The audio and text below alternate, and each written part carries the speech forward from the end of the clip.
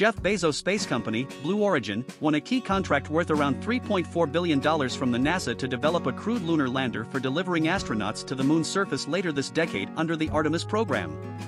It's a surprise that Blue Origin won this contract over Elon Musk's SpaceX, which is much ahead of Blue Origin in this area.